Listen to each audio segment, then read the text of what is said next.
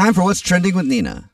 So there may be a frenemy in Taylor Swift's squad. What? Oh. Just so you know, before I tell you the story, I asked the room if they wanted to hear about shrimp or this Taylor Swift story. So you can blame Victoria if you're a little over the Mahomes, but it's fair. juicy.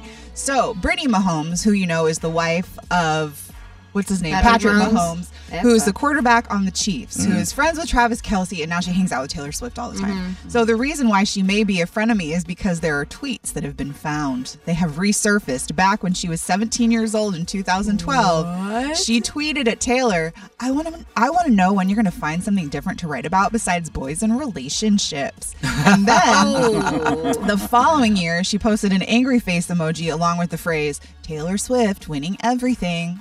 What a hater, man! Wow. I mean, who wasn't putting those tweets out That's back true, in too, yeah. 2012? Me? Everybody what were y'all But like, doing? why do people have gonna time to hate like that? Like, what are you doing? Yeah. Like, what? She was 17, so I guess she gets a pass because she was a child, essentially. But I don't know. Maybe this has just all been an elaborate scheme so that she could get close to Taylor. Oh.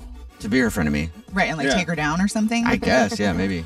I don't know. I feel like she graduated and she's one of those. I don't know. I don't know. I shouldn't say anything. I'm sure she's a lovely woman. I'll stop there. Well, I'm serious. Like that. That was there was a time where everyone was oh. exhausted by Taylor Swift writing songs about ex-boyfriends. We were all over it. I think I figured it out. Everybody writes What? about their exes, though. What did you figure out? Um, I think Taylor Swift actually had the plan Oh my god. right. because she is gonna hook up with Patrick Mahomes. You want to talk trash? I'll take your man. That's what she's doing.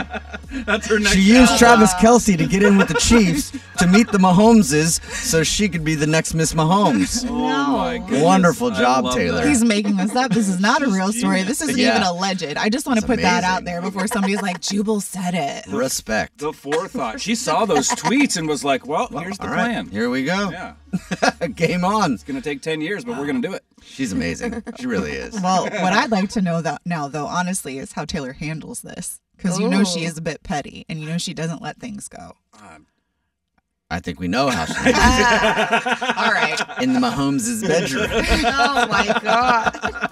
to catch a cheater. Oh, hey, to catch a cheater is coming up next. It's the Jubal Show.